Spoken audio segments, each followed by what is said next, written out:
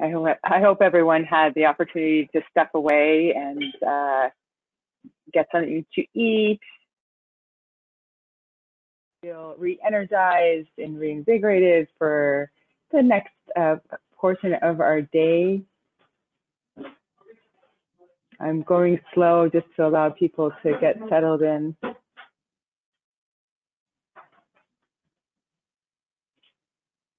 Um, so we have a couple more uh, sub discussions on the gathering spaces. We just talked about the indoor uh, gathering spaces and we are now, oh, sorry, we talked about the outdoor gathering spaces and we're now going to move into the um, thinking about indoor spaces for gathering. So this is really around if we want this building or if the STLC next wants this um, center to be inviting and welcoming space for the community members and for um, everyone to feel that they can access the space and belong in the space and they have a sense of shared ownership.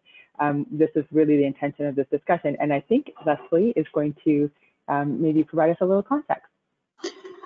Yeah, if you don't mind, thanks so much, Leslie, too. um, I just wanted to remind people, because it's come up uh, periodically today, that in the test fit building program, there, well, one of the big things that led the test fit was to quadruple the size of indoor gathering spaces because right now the building for the last 50 years has been closed except when there's a performance on for two hours every night.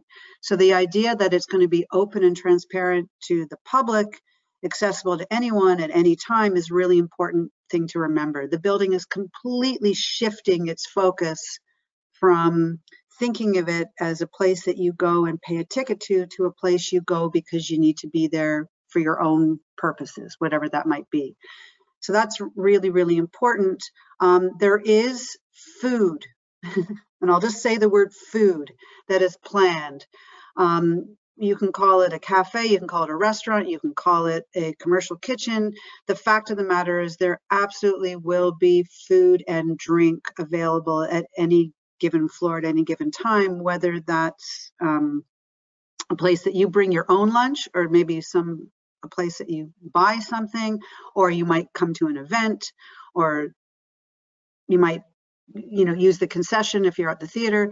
But the fact of the matter is, food is a huge piece of this al already, and I know that it's not going to go away in terms of the design. So, in terms of the the gathering spaces, um, inside and obviously out. Um, I would say food is a must, it's a given. And if you have any ideas around what that means, that's great. But other than that, it's completely up to interpretation and how people will gather, whether you're with one or a hundred. Thank you. Thank you so much, Leslie. That's a great um, perspective to start us on this journey of discussing this indoor welcoming space. And um, to your point around the, the test, uh, I am showing that currently on my screen so people can see the, the current kind of vision of what what that does mean from an indoor gathering space. So you can see there's a living room that, that kind of hugs the front street um, or is parallel to Front Street and moves into the interior uh, in an L shape or in a reverse L shape or hockey stick shape maybe, and then uh, Scott Street living room uh, kind of along the Scott Street side there. So when that might help to help uh, us when we're thinking about what can we do or what ideas might we bring forward to help um, the design who designer who takes this challenge on um, bring forward ideas for the city of Toronto for Toronto Live to um, develop this amazing space. So um, I just was, wanted to show that briefly before I get back onto the question side, which is really around, you know, how do we envision developing an inclusive, safe, and inviting public space that encourages gathering indoors?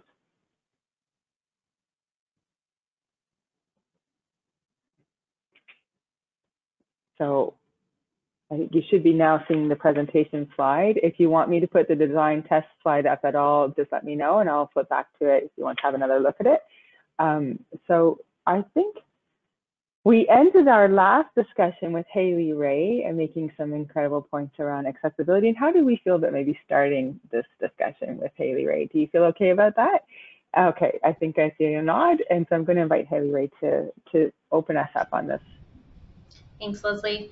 Um, I think I'd begin here, uh, you know, ensuring that the main entrance is accessible, um, uh, starting that visit from an accessible entry point, um, ensuring that uh, service counters and perhaps any waiting areas or fixed queuing guides are accessible. Um, one thing to note is um, in the design of public spaces, being a part of the AODA, is um, those sort of three elements, service counter, waiting areas, fixed queuing guides, are, are really the extent of the design of public spaces um, related to the um, interior, and that the requirements that go along with those are, are quite qualitative. So it's important that we're distinguishing what those quantitative um, uh, requirements are related to each of those just to ensure that the accessibility of those spaces are upheld.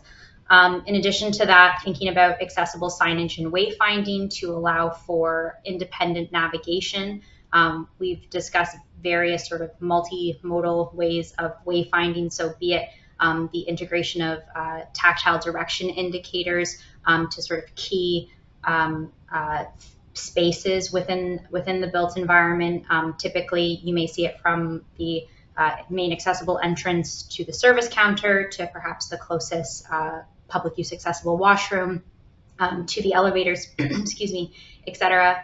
Um, and again, the maintenance of any of these accessible elements. Um, I'm glad that um, Leslie uh, shared just the, the clarifier of the food being a part of the um, programming because I had food services question mark.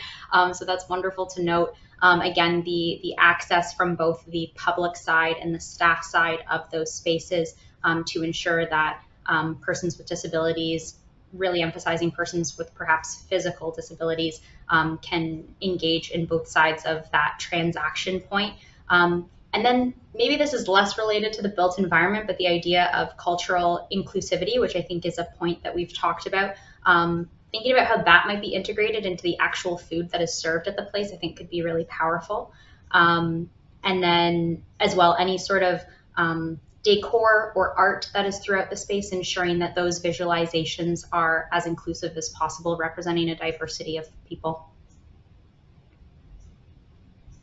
Wonderful thank you so much for for opening things up. I think it's a you, you really do add such a great perspective, and so we can take those and, and start to build on them with our different uh, viewpoints for the collaborators here, and perhaps we can take it from um, that indoor accessibility point of view to thinking about fenestration and windows. Um, Dave, would you like to to talk about that a little bit when we think about the indoor?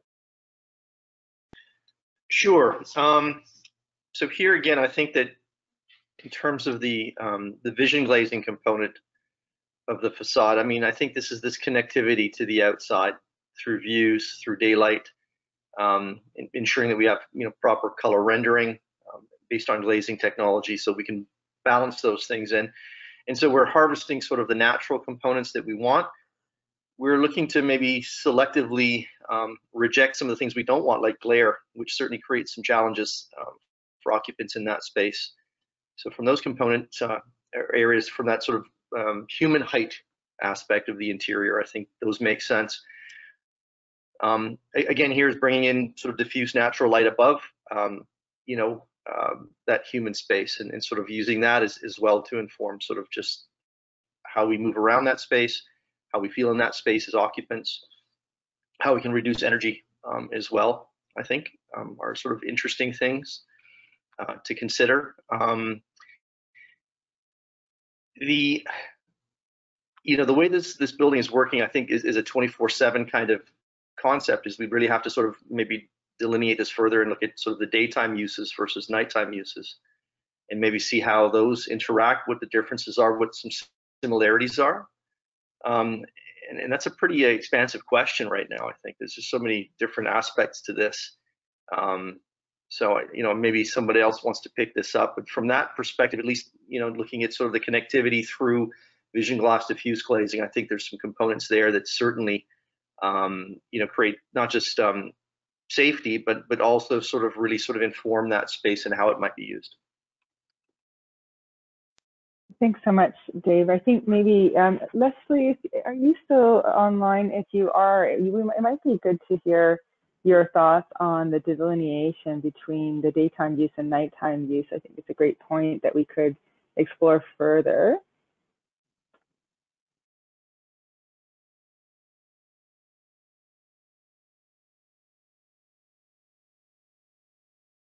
I'm So- entirely sure how, can you hear me?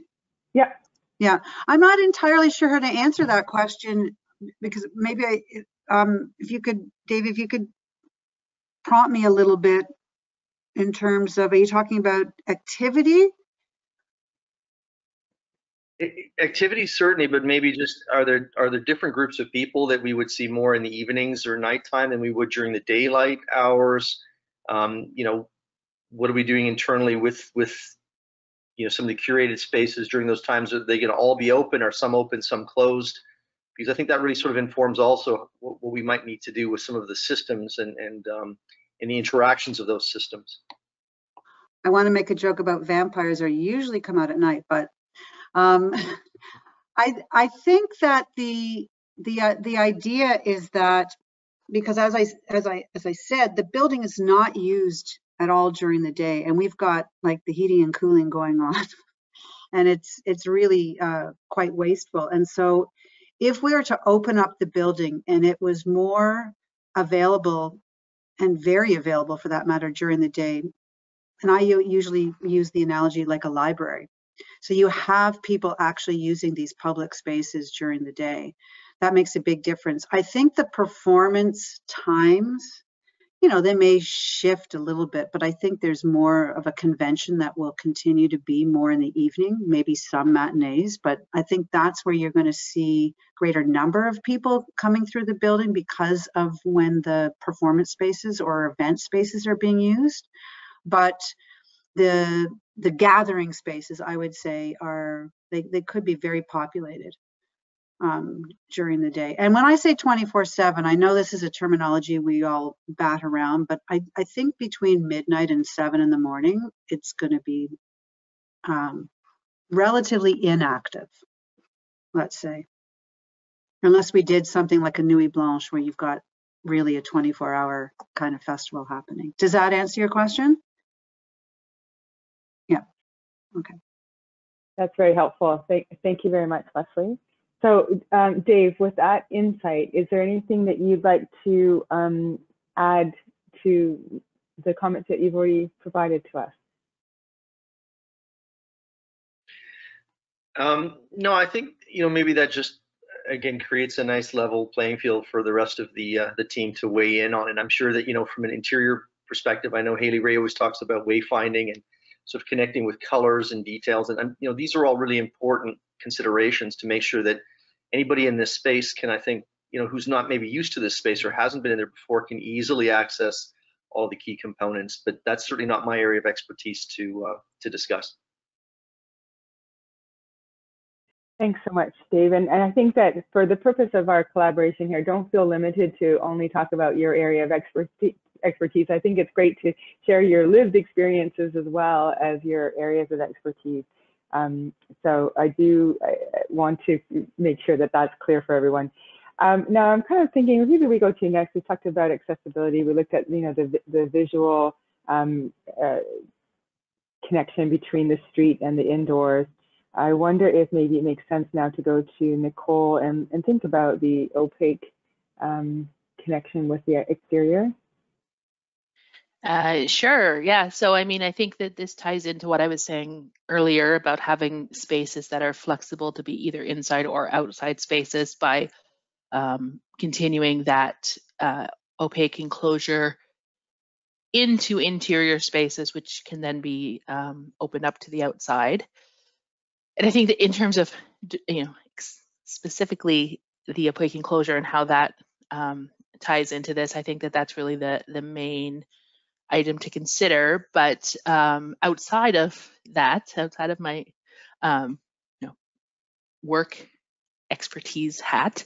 Uh, the other thing that I was thinking when we started talking about this interior gathering spaces and the discussion of, um, you know, food definitely being one aspect that that's available uh, is the potential for maybe like pop-up restaurants, um, which I expect would impact uh, the way the space is laid out, right? It, it- to be designed to be flexible for different kinds of um, different kinds of cuisine and different kinds of uh, chefs who may who who may want to use that space, um, and that gives. I mean, it potent. it's great to do that for you know chefs that people know and, and will draw a big crowd, but it's also a potential um, for kind of lesser known, new and upcoming chefs, and uh, that can then you know put their form of art out for people to come and uh, if they can't for whatever reason have a you know open a restaurant they they could maybe do a residency Hmm. These are great ideas, and you know you're triggering some responses on the chat. So we have Yeah. Mike saying, "Yeah, the restaurant bar could be a destin- destination in and of itself." Thinking like the Opera Sydney House or Sydney Opera House, right? And Leslie chimed in to say, "Yeah, create a theater kitchen." Food is art, says Bettina. Culinary art. Okay, so we're getting excited about this idea of of being um, adaptive and flexible with food. And I think uh, also building on what Haley Ray said is that it's that cultural consideration too, that there could be different offerings. Um, so pop is Mhm. yeah, wonderful. Thank you so much. I wonder if um, uh, maybe I can probe a little further on the flexible opaque enclosure. So I was going to probe further on this when we talk about the blurred lines on the next discussion area, but Yeah. because we just mentioned it now, it feels like a good time to explore that a little bit further because I'm not sure that that is clear to everyone. What do you mean when you say that the opaque enclosure is flexible to allow for some indoor outdoor space area? uh yeah so when um i'm trying to think of a a building that i could use as an example and it's kind of difficult because most buildings you walk in and it's all open you know on the main floor but um to have the ability to if you for example walk into the the lobby you know the, which will be public space um, you walk in through the doors and then there are you know there's going to be interior walls that separate that from something else right? That's that's beyond that. Um, so the idea would be that um, if that you know lobby entrance space which you know maybe it has a a seating area and it has whatever else it might have in it. Um, if you designed those interior walls that separate that kind of first landing space from additional space in the building, if you design those walls as if they were exterior walls, then you could potentially open up that what what is you know what for most of the time is the exterior wall and that space then is open to the outside.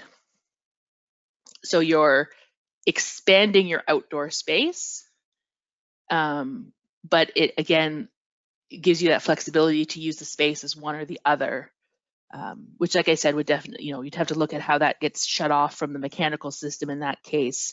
Um, and it, and really that building those enclosure walls and shutting it off from the mechanical system allow you to use it outside of conditions where the inside and outside environmental conditions are similar in the shoulder season. So it allows you um, to be able to have that expanded outdoor space, you know, when it's hotter in the summer or colder in the winter, without um, you know wasting energy from from inside. It allows you to to still keep that building separate it from the dissimilar outside environment. Um, because we don't only gather outside when it's 21 degrees you know we we still gather outside when it's 30 or 35 and we still gather outside when it's minus 10 um, so it's it's uh, yeah it's about building some of those interior walls as if they were outside walls so that you can y- turn them into outside walls sometimes It's yeah, it's amazing. So you're really integrating that indoor space with the outdoor, so that you have your almost exterior wall inside that indoor outdoor space, or you know Right. more in the So you have kind of two two exterior walls um, from so that you can change kind of where that building line is.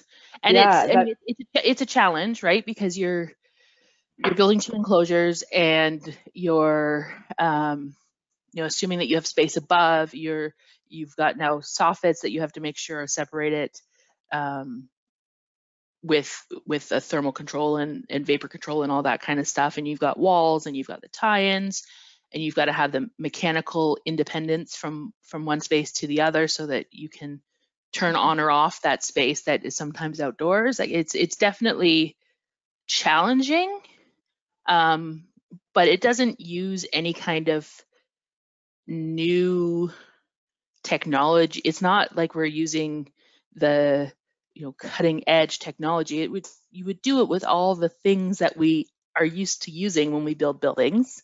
Mhm. um, it's just taking into account that extra layer of um, variability in how that space can be used Mhm. and making sure that all of the systems take that into account but i mean it's not yeah it's it's there's nothing there's no new technology that would go into it it would just be making sure that the existing technology is appropriately uh, put Mhm. together It, it's it's a really interesting idea, I think, and I'm glad. I appreciate you unpacking it for us further. Thanks so much.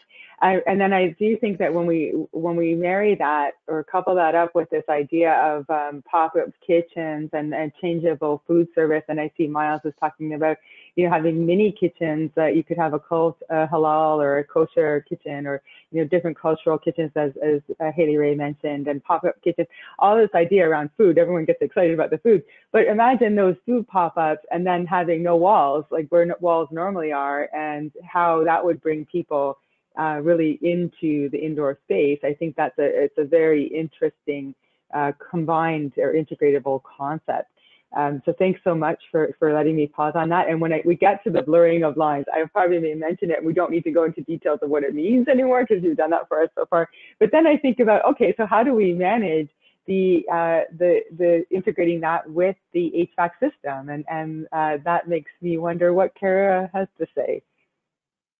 Zoning, zoning, zoning, um, and keeping gas out of the kitchen. So the less gas you have, uh, less indoor pollutants. So the lower the kitchen exhaust rates need to be, but just lots of dampers that are automatically hooked up to the occupancy sensors and the lights. So if you're in that bit of the kitchen zone, then you can turn it on. Um, I think there's this whole piece about educating people how to use uh, zero carbon cooking and demonstrating that it's possible. Um, right now, when I try to point people to examples, I uh, say there's a net zero McDonald's in um, Disneyland, and they promised that they would publish their equipment list, then never did. And that's what I've got right now for zero carbon, like gas free kitchens. So there's really an opportunity in Toronto for demonstration of ways that works. David, I think you and Devin had an example, right? Yeah, that's right. Uh, actually, Devin, if, if you're there, you know, feel free. Um, I don't know if he's still on. I don't mind either way. I am here. Um, Yeah, go was- ahead. Go ahead. mean- Tell, tell them about Scarborough. Uh, Yeah, exactly. So we were out at the uh, new um, passive house uh, student residence that U of T Scarborough is just wrapping up the construction of. Uh, and they've actually gone with an all electric kitchen. So that's going to be a great example to point at in, um, you know, in the city. Um, the other thing with that, I think, is that during their research into what they could do, U of T compiled a bunch of information, and I'm sure they're willing to share this. So we were actually talking about how they might be able to share that through our uh, Green Will initiative or something, you know, put together some documentation on that. So I think that's, uh, you know, extremely laudable. I'd also point back to, um, I remember when I was doing consulting you know, it's a 10 or 15 year old study uh, out of Sweden on energy use in all electric kitchens. So I'm sure we could dig that up, but uh, you know, another um, fairly detailed example of the equipment that uh, that went into that kitchen. Yeah, and Yeah, to add to, add to that, um, uh, they said the lesson learned there so far from U of T is uh, early engagement with whomever is going to be using those commercial facilities is key. And I think somebody somebody mentioned education. I think the learning curve can be steep, or the assumption is that you need gas to cook, right? So I think it's really important to get ahead of that. And uh, what was particularly interesting is that it was a U of T staff that actually went out and basically spoke to providers and, and whomever they could to get that information. Like for example, an electric pizza oven, very rare. They had to go out and and and find out who can provide that. And and uh, you know, this is a commercial kitchen in Scarborough. It's doing like what was I think they said 2,000 meals a day. So this is a like uh, you know this is a significant undertaking. Uh, you know, it's a 700 bed student residence. It's a lot of food. So uh, this is like going to be, I think, a, probably one of the best examples we'll have soon uh, in the city.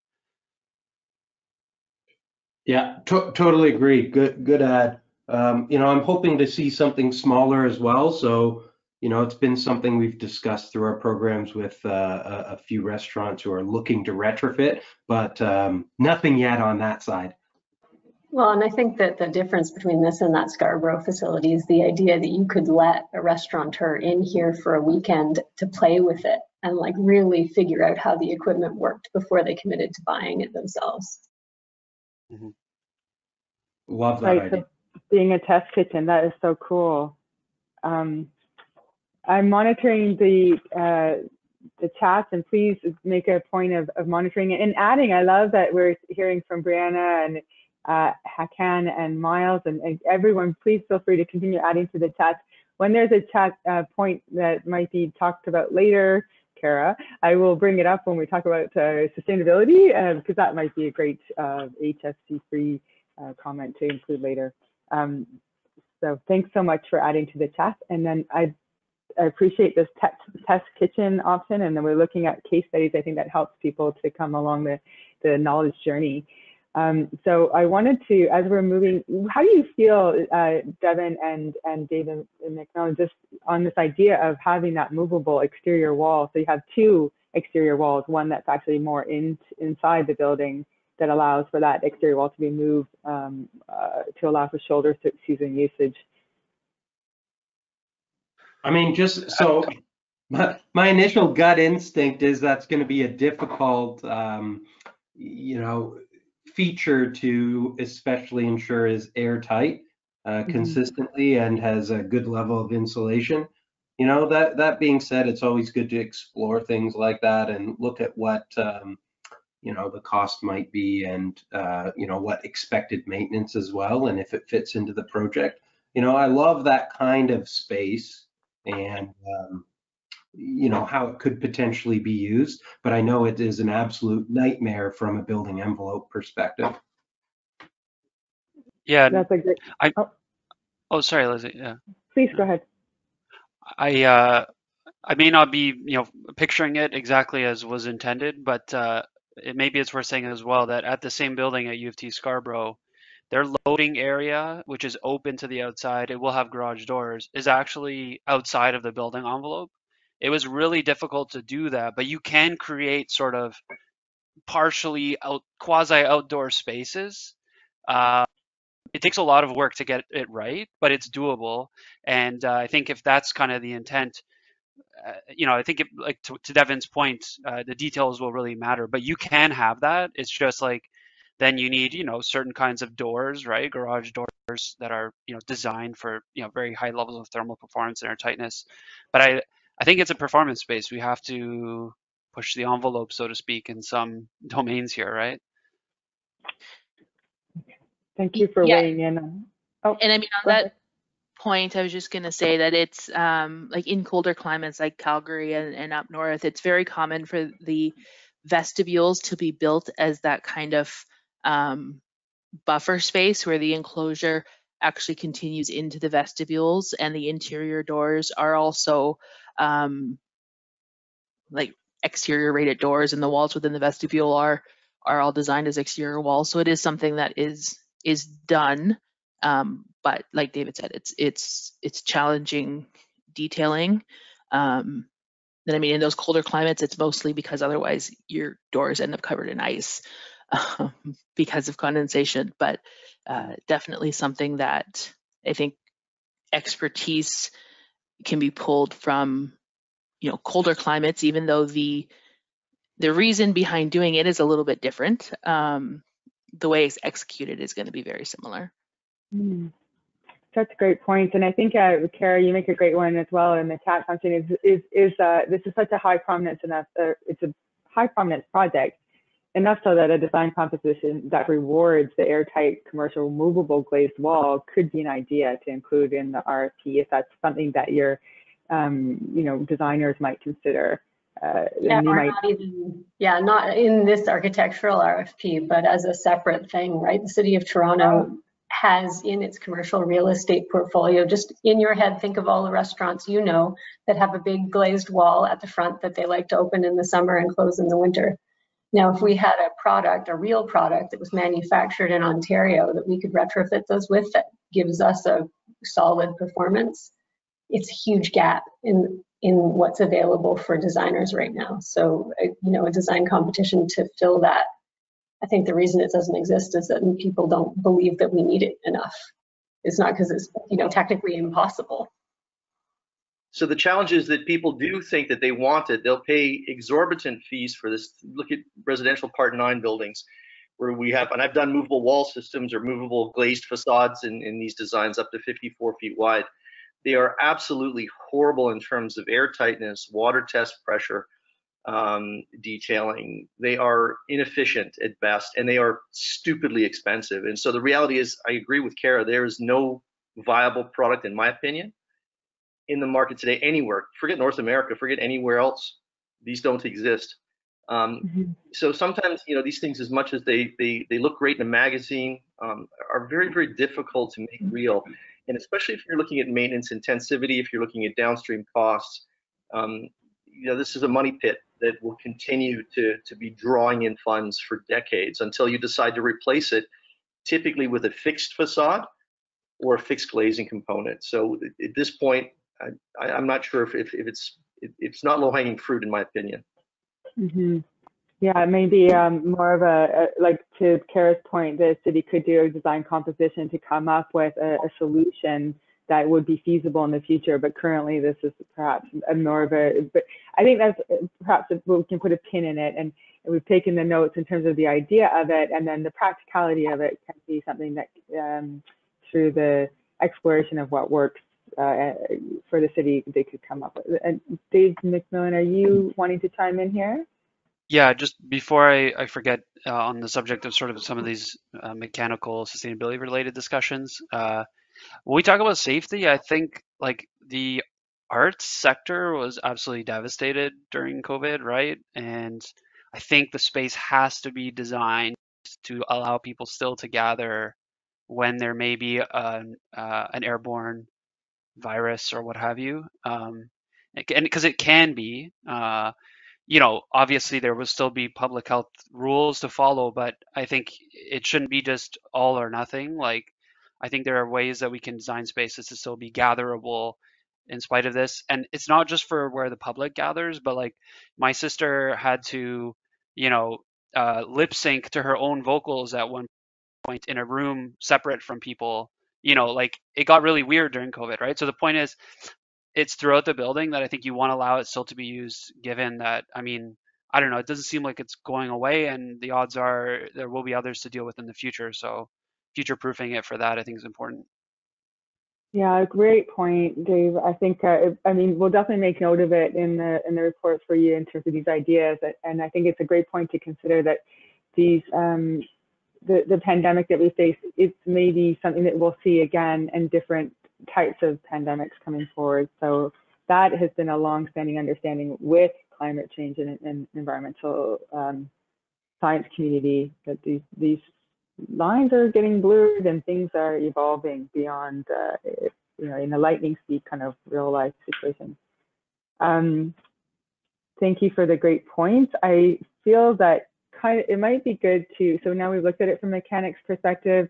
I want to land eventually on the indoor air environmental quality perspective, but I thought before we do that, one of the questions here that we're that we're talking about is how do we find this way to incorporate more of the outdoor space indoors to allow for that flexibility, you know, when we can't be or when we, we're limited by pandemic or when there's other things that are happening. And so I wanted to ask Sebastian or Sabah, how are we going to do this from an energy performance standpoint? Like, what do you think? Zoning, zoning, zoning, as Paris said. zoning, zoning, zoning, okay.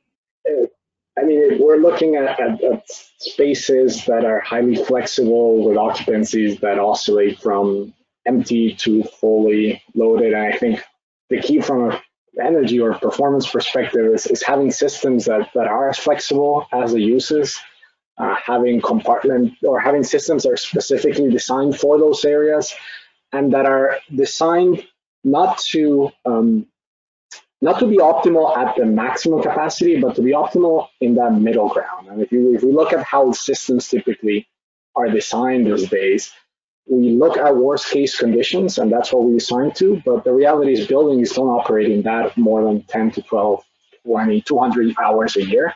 And it's a it's to miss opportunity from a performance perspective uh, to focus on those worst case conditions. So um, from an energy perspective, um, zoning things properly, delineating systems that respond, that are good at responding at, at, at variable um, occupancies is really important. Tying it to controls like um, lighting controls, demand control, ventilation, um, and as, as they were saying, still provide the ability to go full, let's say 100% outside air in situations where it's needed. But that's really designed for the the amount of time we spend in normal conditions from a weather conditions at least and and i think that's the shift that we're starting to see in high performing buildings is is the need to think not only what's the worst case condition um, but really what what we typically see in the building um, we'll talk about this later but the idea of designing to the future and we we've seen in the chat a lot around um, how this kitchens and how the concept of a kitchen is evolving and, and ideas around um, shared kitchens or I mean I, I, used to work in a work like a work shared space I could see a kitchen being that sort of you rent it by the day and you come in and out and with that flexibility there's a need to to think ahead. Mm, so many great points.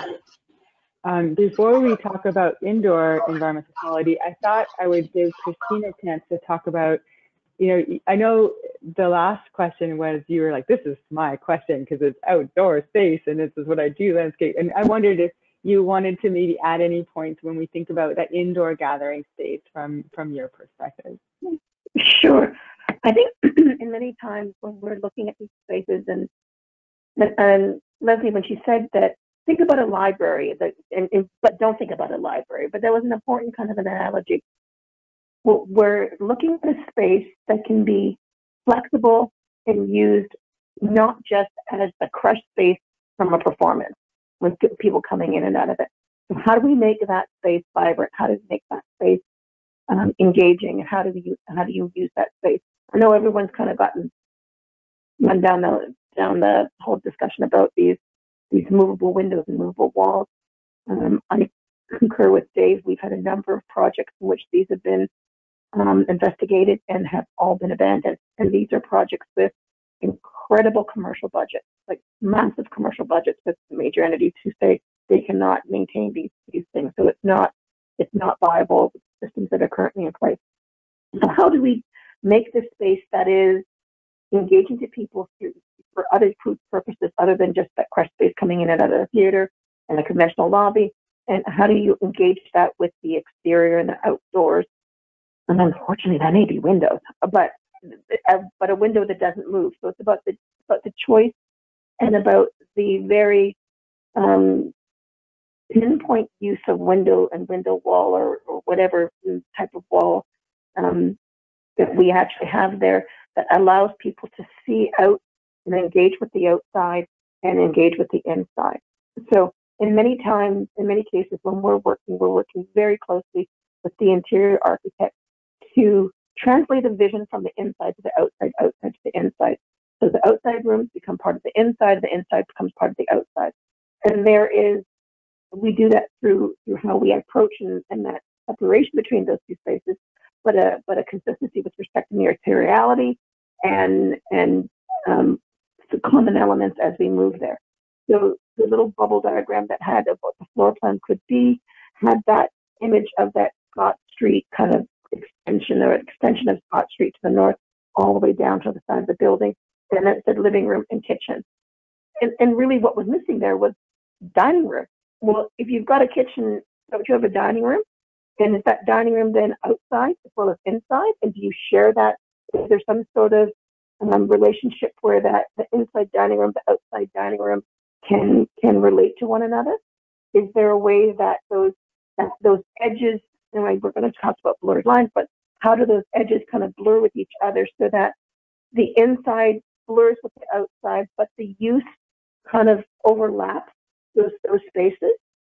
So, you know, as we look at how do we encourage gathering indoors, number one things that we always talk about even outside is provide seating. Like you go to a lobby of a of a of a theater, most more often than not, there's very little seating involved in there. It's it's to get you in, it's to get you out. a little bit of seating around the periphery, but that's about it. If you want to come and have people use that space on off time, then you have to provide them with those opportunities to use the space and sit down in the space and engage the space. And that could be whether or not it's tables and chairs, whether or not it's benches, whether or not it's some sort of equipment or furniture that allows people to use the space other than it just standing there. So even if you do have use that commercial kitchen and it becomes uh, an actualized restaurant like they do have over at the AGO, where they have a restaurant there, and it used to be Frank, now it's called, I think it's called a cafe or something along that line. but there's a physical restaurant at the base of the mm-hmm. building that becomes a commercial entity, and there's a dining component there. I mean, we have that ability because we have that Scott Street kind of extension there to have an outdoor cafe that, that spills out from that.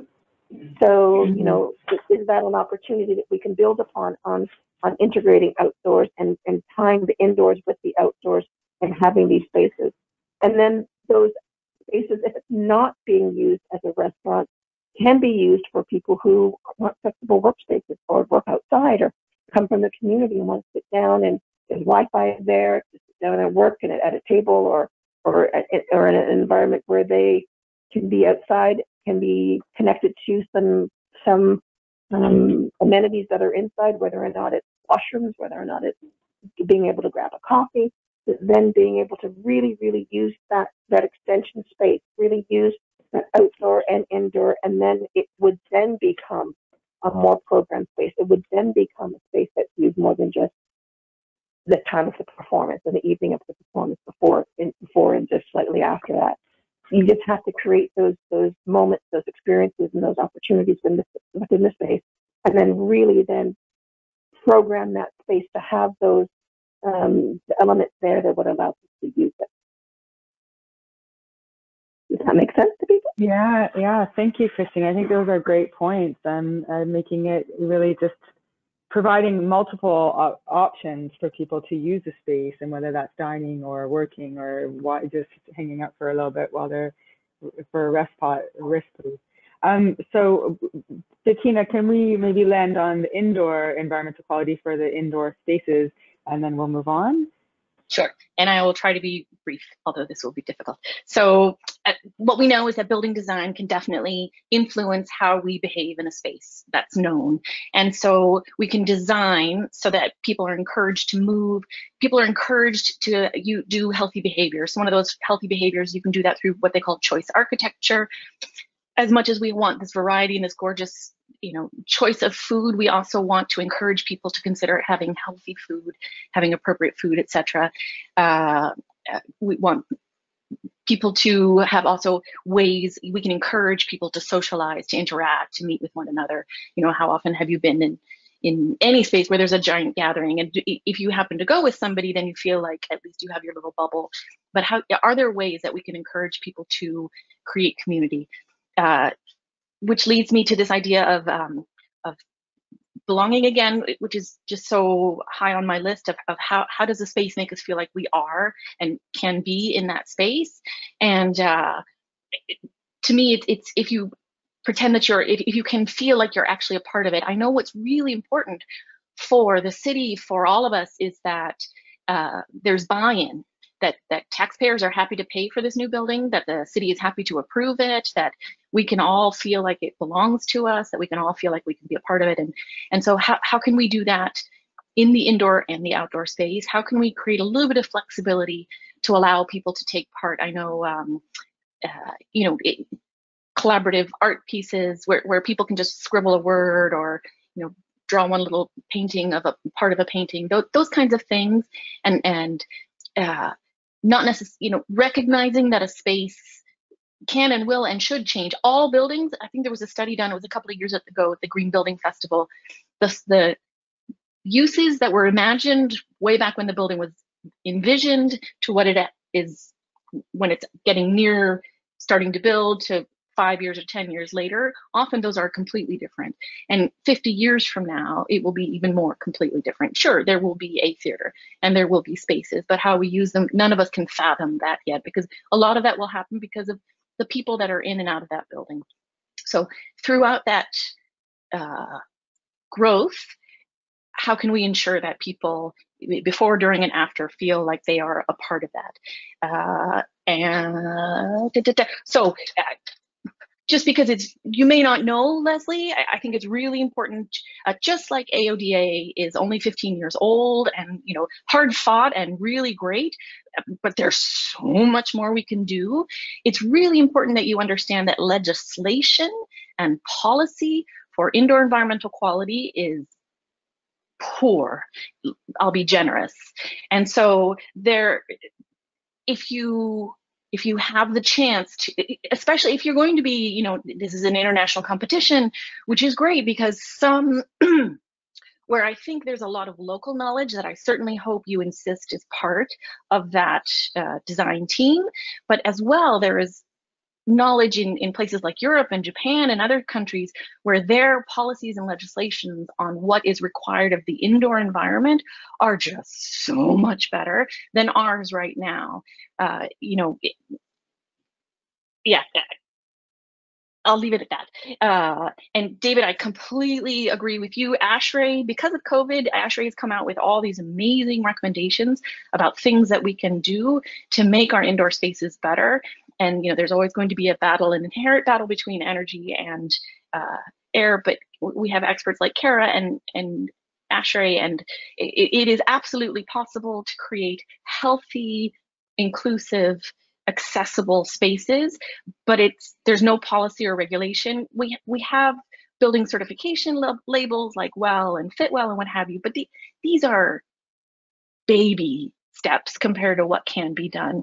So the, the human side of things is you want to be net positive human, you've got to set net positive goals for that. And that that is you can't even look to any policies or or regulations for that. You're going to have to look to the uh, a team that really has human-centric point of view. Wonderful. Thank you so much, Bettina. There are a lot of perspectives that you share there. And I think that the overarching theme is that, you know, we're seeing that the requirements are shifting and, and growing and that we, we look at indoor air quality and, and what can be done in that space and, and, and bringing in more organic uh, materials and more safe materials. It, it's a journey for sure. We're going along. And Leslie, I think, has a comment to add. Um, thank you, Bettina, for that. I think I'll, I'll just leave it at this. One of the things that, um, or one of the one of the groups of people that are not necessarily part of this particular workshop right now are artists. And when I mean the artists, I mean like people that are very specifically have a vocation to be creative and to think. And usually around uh, a round table, around a round table like this, I would uh, like to populate it with some uh, people that live and breathe in the arts all day long. And that's where I think some of this stuff is going to come out of um, the future conversations. And so um, I'm not saying it's just from that place, but just in terms of us thinking differently and the you know we started off this conversation by saying the arts were decimated through the pandemic we were the first to go and we're the last to come back. And those artists became incredibly creative over the last couple of years in terms of how to find space, how to create space, how to gather. And I'm not even talking about virtually. so um, I think that this is a, a, really, really important conversation. And I just wanted to mention that uh, it's top of mind for us. Thank you so much, Leslie. I think it does speak to that real need for the collaborating with the people who are using the space and getting insurance or ensuring that we have that understanding. And I feel that there are going to be some, hopefully some good nuggets that come out of today's workshop and perhaps some great, wonderful things that you'll carry forward and some things that will be adjusted through your collaboration with the users of the space. And um, I do want to recognize we're running, uh, uh, we're having great discussion. And then we have a few more discussion topic areas that I'm hoping that we can get through. Um, so the next one, I do believe we have already covered it quite a bit, and that is around blurring the lines. Oh, oh, there might be a gamification thing there. Spacing out, what? Um, okay, so when we talk about blurring the lines, we have a lot of um, we've had a lot of ideas of, around blurring the lines and I just in, in the spirit of, of trying to get to a, couple other points around sustainability, around future proofing, around um, diversity, uh, and also looking at what the community would be benefiting from this. So there's a few other questions that we want to try to hit on, um, touch on and recognizing we have about an hour to go. Um, I'm going to try to do this more like, you know, those um, nighttime TV shows when you have a rapid fire response. That's what we're going to try for in the next little while. We're going to try for rapid fire. So your response will be, you know, sort of a minute, or you might hear, and okay, I won't do that. Uh, but we're going to try to do a very short, concise, you know, give us your top answer. And if we have time, we'll get back to one more top answer that you might have. And just so that we can hear from everybody and try to move through these other pieces, which I think are very valuable for the, the TO Live team if that's okay with you, I'm not seeing any frustrated looking faces. I'm getting thumbs up. Okay, wonderful. Thank you so much. Appreciate your, um, oh, I just wanted to make sure you saw that. For those of you who are taking your, your gamification seriously, um, we're going to move past, we're not going to do the word cloud here. So I just want to, oh, there's another gamification already because we were going to do something before this, but we're moving through more quickly. So just wanted to remind us of what the sustainable vision is for this. We're looking at being future facing for a decarbonized world. I think that is something that we have fundamentally used as a guiding principle throughout this. And I wanted to also remind us one thing that Mike said earlier is around making sure that what we're proposing or anything recommendations that we're making do consider the building operator and consider the operations in terms of that that um, decarbonized world vision. So with those things in mind, we're going to move into, oh, yes, I had some fun with my, with my uh, animations. Okay, so now we're getting into, um, this is one of the final three discussion points when it, this is on diversity. And so when we think about diversity, it's really uh, something that we talked about and we've heard about um, from Eliada and from others, as, and maybe it's that third mode of communication, like thinking beyond that the ego and, and beyond the you and I right here and now, and, and looking at how do we ensure that there is a space for that sense of belonging for everyone, that sense of co-ownership, the sense of co, you know, facilitation of, of these things so that there's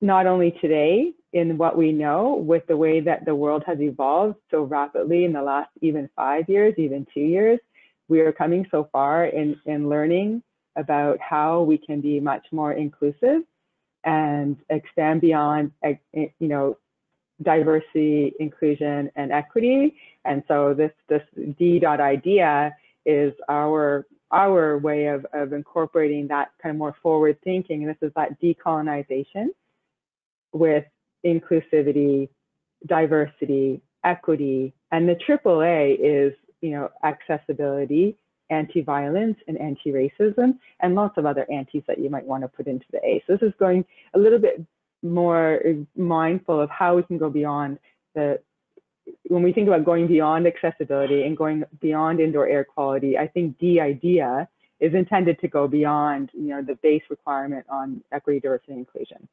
So that when we think about those things, um, I just wanted to consider, are there things that we should be kind of uh, advocating for or recommending for STLC next to, to consider in this design competition? And that a lot of these things we have touched on already, so it's going to be rapid fire, use of shapes. And it doesn't have to be anything on this list of considerations. These are just trying to get our thought processes moving and going on this. Um, so I'm going to use the original um, circle of introductions. So we're going to start with Bettina, and then we're going to go from Bettina to, I think my next person on was Kara, and then Dave Peterson, and then we'll go to, I think it's, uh, sorry, it's Bettina, Kara, Christine, Dave Peterson, Nicole, and Sebastian. And I don't know if Mike Singleton's going to chime in. So with that, I'm going to turn it over to you, Bettina, to tell us in quick answer. Quick answer is approaches to sustainability include people and including people, you need to consider it holistically. You can't just think about one component like IAQ as a proxy, you have to have a wholesome view of it. Distinct, beautiful. Thank you so much. We're going to move on, and if we can, we'll get back to you. Kara, do you have some thoughts on that as well? Um, functionality is the biggest thing. I think people are going to have their hands on parts of the building and not just having a little sign, but being able to really experience what a sustainable building um, that is future ready feels like is going to be important. Thank you so much, Kara. I appreciate that. Um, I just want to, before we move on to uh, Christine, I just want to note Miles has uh, written a LEED pilot credit about gender inclusive washrooms, and today she's noticed um, that people are still thinking inside the box. Why are we separating washrooms into here and uh, here are the urinals, here are the toilets? People will still, whether consciously or subconsciously, gender them. So that is also something to be mindful of, and I appreciate you bringing that perspective forward for us to consider, Miles. Thank you. Christine, um, do you have a short thought on uh, diversity? Yes, uh, just two words, uh, engagement, and then ownership. Not ownership of the building, but I mean, but a more comprehensive ownership of the participants, the users in the community. That's it. Short and sweet. These are short, sweet, and powerful. Um, engagement, ownership with and collaborating with the participants. That's wonderful. Thank you so much. Um, and I feel a bit weird. I just had this awareness that I'm saying, let's rush through diversity. Hang on, wait a minute.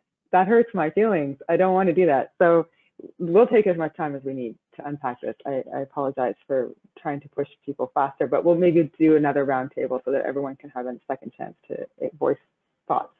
Um, the next person on my roundtable is Dave Peterson.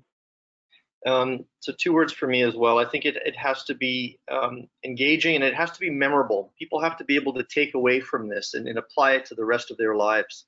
It has to be something cool. It has to have an interesting component to it because if it's not memorable, um, it just gets stuck with all the minutia of our lives and, and we need to, to rise above that, I think.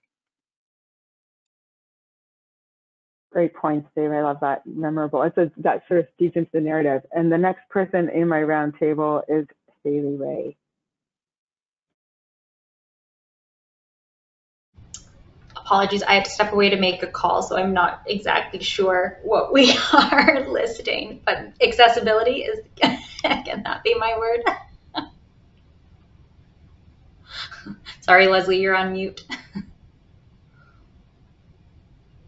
Thanks, Haley. I think that we were just trying to, because we have a, a couple different discussion points to get through, we're trying to be a little bit more concise in our responses or what are our, the things that we really want to make sure that we're considering beyond you know, base equity, diversity, inclusion that can be considered for the, the design today and into the future. So if you want to extend on accessibility, feel free. Um, I would say an inclusive design process. Um, so ensuring that the process of inclusive or that inclusive design is is present from the start um, to completion of the project in, in all of the ways. That's great. Thank you so much. I think that's a best practice for sure. Um, the next person I have in my round table, Mike, I don't know if you're still online and you wanted to share something at this point. Yeah, hi, I am, I'm still here. Um, I don't think I had anything to add that we haven't heard already. Um, there's um, uh, some great ideas there. I would just say regarding um, diversity, I mean, to me, Toronto is uh, uh, already an example of an of a society that is embracing, or a place that is embracing um, diversity and and certainly multiculturalism. And I think we, you know, we still have a ways to go, obviously. Um, but I think this again, the, the, notion of this project being iconic. Um, let's think about ways that we can ensure that it um, delivers on um, that um, kind of diversity philosophy and, and, make a statement and really truly make it uh, an iconic building that represents um, everyone that lives in Toronto. Thanks, Mike. I think we are on the journey with long, uh, lots of improvement opportunities along the way. And I think, Leslie, were you going to chime in on this?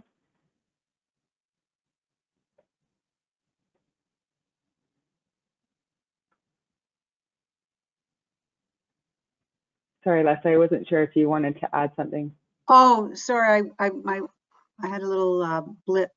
Um, I think that um, just building on this, what Mike just said, I, I think um, it'd be really great to get back to a very simple human kind of motivation, which I tend to love, which is about curiosity. And I think we've we we lose something as we get older, and that is um, I just put it in the chat. I meant to send it to all, but I sent it to Bettina. This idea of being awesome, as in being awestruck, and I think we've been all talking about ideas that are going to surprise, that are going to engage, that are going to give us these human emotions that we really want out of this this not just this new building but this new arena where humans are going to be gathering to do all sorts of things. And i want it to be awesome as in being awestruck and awesome as being brilliant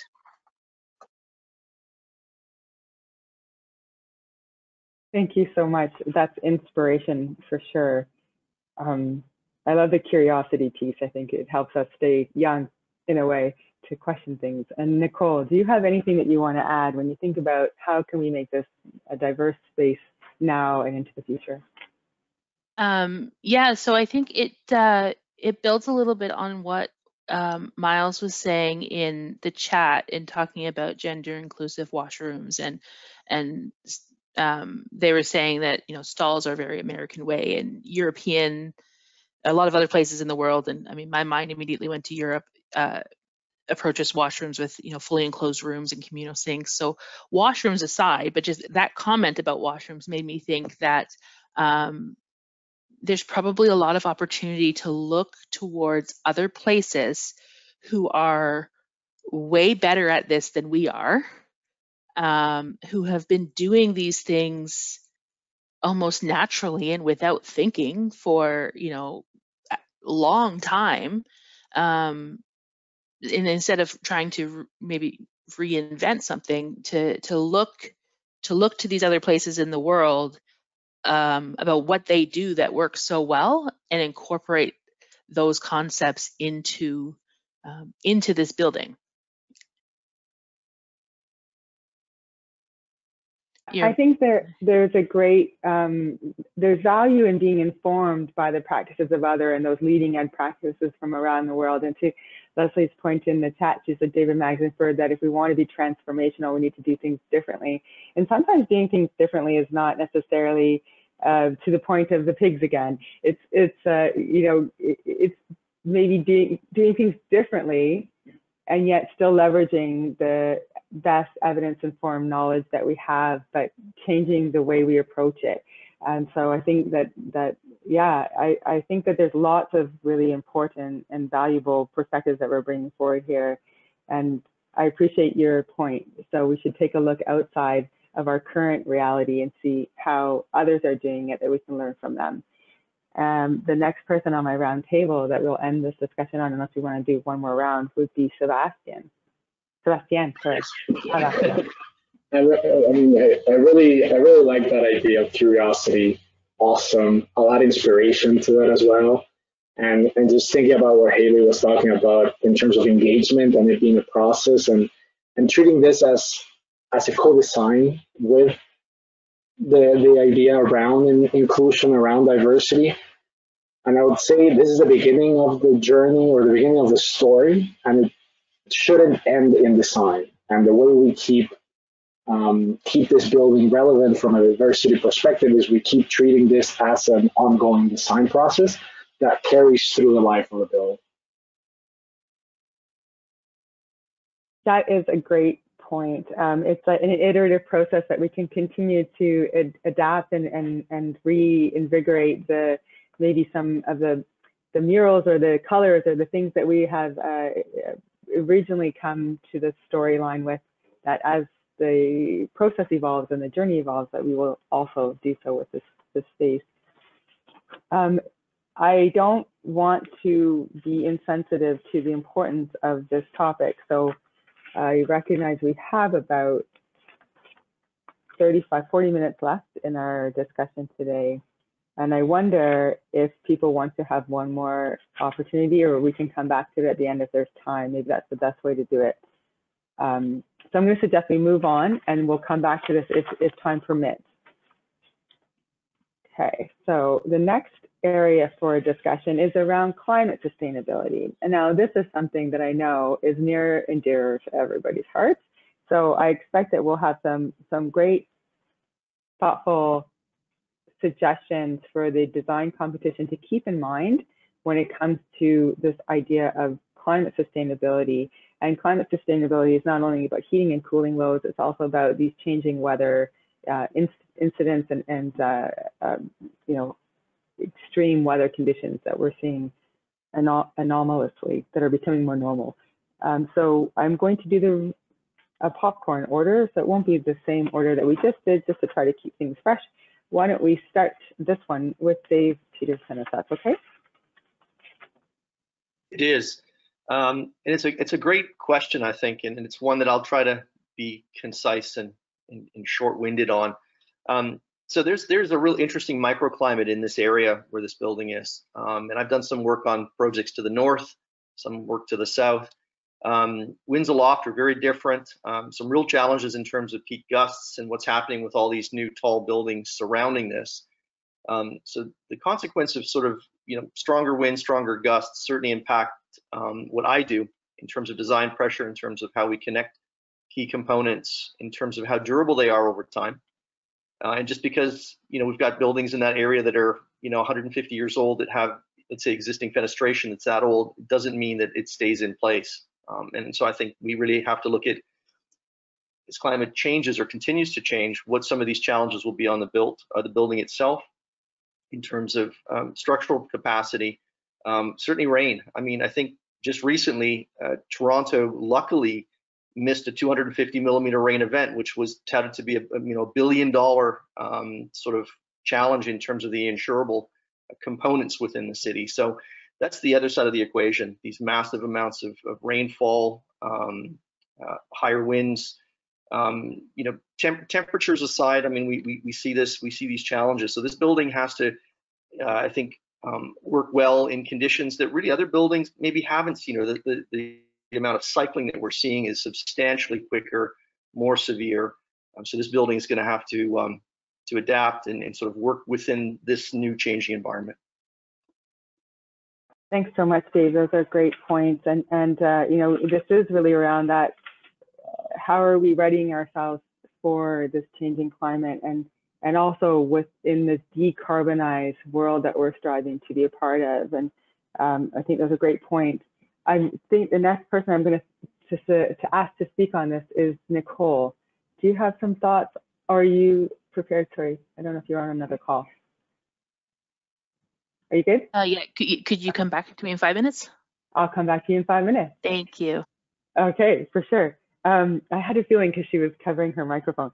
Sorry about that. Uh, so if we move on, then thinking about that decarbonized future and, and sustainability, let me ask Christine, do you have some thoughts on what this building can do?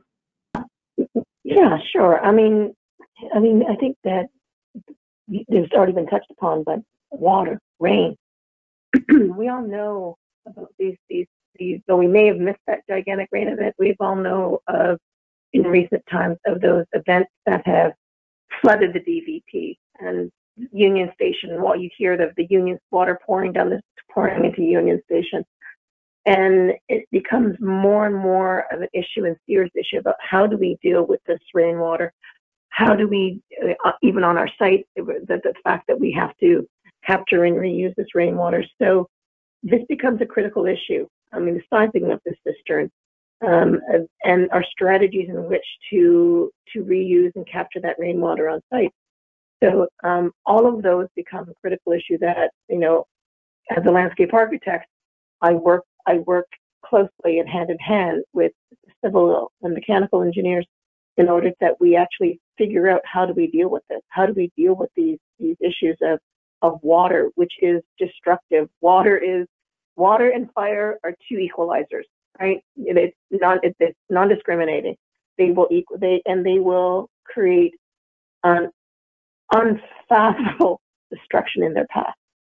So how do we how do we deal with this? I mean, thankfully we don't have we don't have wildfires here in Toronto that we have to deal with, but we do have water, and we have these incredible rain events um, that happen now with more frequency.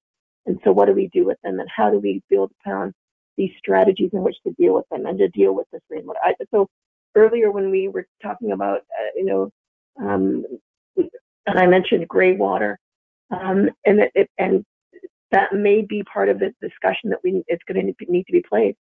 Um, traditionally, the development world hates gray water toilets just the, the cost. Um, it may be that this is the this is the future that that you know in, in order to deal with this, it it may be what is a requirement a base requirement is that there are going to be gray water toilets in these in these public facilities, and that we are reusing the cistern and sizing the cistern in which to accommodate the, the capture of that and harvested rainwater for things like the toilet and for things such as um, irrigation. And then it becomes that much more important that the level of, of landscape um, becomes more resilient um, to reuse some of this water as, as we have to release some of that within within the environment. So just just a couple thoughts on that with respect to climate and its impact on what would be the landscape.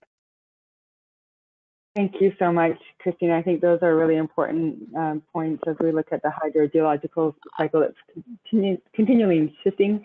Um, and you mentioned it having to work with the mechanicals to make sure that what you were doing uh, in the building could accommodate. And so I thought this would be a natural segue to bring Tara into the discussion. Yeah, I mean, I think here uh, myself and Sebastian are going to be very much on the same page. Um, this building should be carbon neutral. It should not have natural gas on site beyond what's required by code. Um, maybe by the time we've built it, it won't need to have it at all. At the moment, natural gas emergency generators are required. There's no battery alternative. But if you separate out things you want backed up from things that are life safety, you can still have a substantial battery backed up um, resilient center. So the air conditioning for um, the parts of the facility that you're using in a power outage, et cetera, et cetera, um, all being off of gas uh, beyond that, using as little energy as possible. Um, despite the fact that I love making sure that water balances are effective, um, it's worth saying that in the city of Toronto, our um, water comes out of the lake and it's very low carbon impact. So it may also be important to identify how your building impacts the environment. What are the most important ways it does? Right? Transportation, making sure people aren't driving their cars is probably huge because you're gathering people from all over the city. Um, so you'd have a much larger impact giving everyone a free, free transit pass with their ticket than you would by entirely eliminating the use of potable water in, in the building. So figuring out the magnitude of the impacts of all of the things that come into your building so that you really dial in where you want the architect to focus their attention to make the most benefit, I think. That's a, a really innovative idea of having your tickets tied to a transit pass or something. I, have I've never heard that before. Um, I love it I, and agree with all your other points. And we're going to try to get around the table and hear everyone else's thoughts on this. And I don't know, sorry, um, sorry, just checking. I'm going to throw it to Bettina at this point and hear what you have to say. Unless Nicole, I think you were ready. I'm ready. Yes. Go for it. Um, Oh, so sorry, that's okay. That's okay. sorry, okay. Nicole. I thought, yeah, so you know what we're talking about here? I appreciate the extra few minutes. Um, yeah, so it, this kind of ties into uh, what Christine was saying about, and and others were saying about the rain events and the amount of rain and the water, and and um, I'm in this case I'm going to tie it back specifically to the building enclosure, um, but in this case the below grade building enclosure.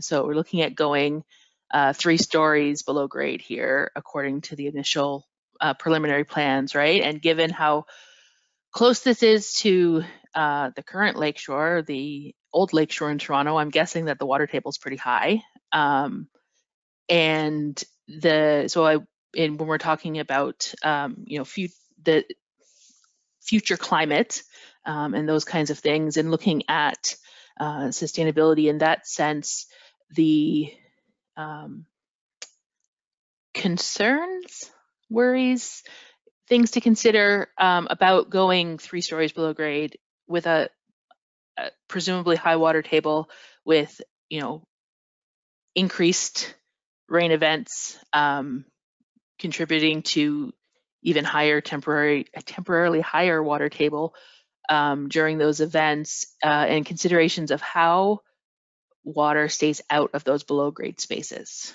um, becomes very important and it becomes much more than just your typical below grade waterproofing that we see on most projects. Um, I would think that, uh, I mean, obviously things need to be studied and more information is needed, but um, my, my first initial kind of thought was, is this whole below grade area going to need to be quote unquote bathtubed with a uh, a continuous membrane, right, from grade down, underneath, around, and up. Um, if it's sitting, you know, in the water table, if that water table is expected to increase over time as we see more heavy rain events, um, and how is that going to impact the the enclosure and, and that below grade enclosure, which uh, you know we don't we don't necessarily talk about a whole lot um, because it's fairly easy to just throw some waterproofing and a bunch of insulation on it. Um, nobody sees it, so it uh, it's not something that that necessarily gets a lot of attention. But um, with that below grade water considerations, uh, it, it becomes a little bit of a different a different conversation.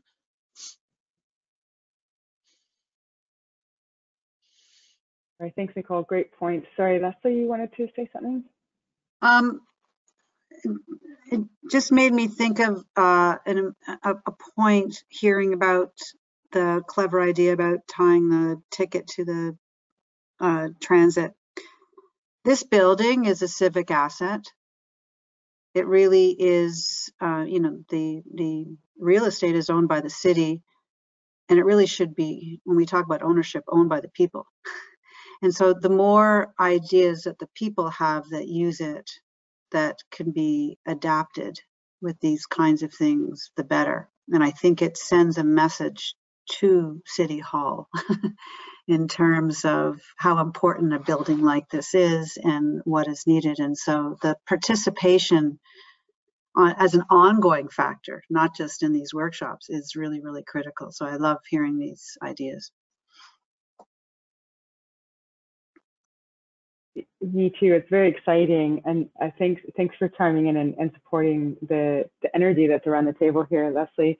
Um, Bettina, I think I was going to uh, uh, bring you into the discussion, and then I think we have uh, we would like to hear from Sebastian and I don't know Dave McMillan if you wanted to chime in on this as well, but and and Devin, but just want to make sure that you feel welcome to chime in at any point. Go ahead, Bettina. Uh, sorry, just to add Jay's point about uh, this below grade, just from an LCA, from an embodied carbon point of view as well, just something to consider. Definitely not my area of expertise, but that's a lot of concrete and a lot of material to dig down and, and protect. Uh, and so uh, from my from the human perspective, obviously, uh, from a sustainability point of view, uh, we are climate changed, and it will continue to change. And what we're going to see is more extreme events, and those.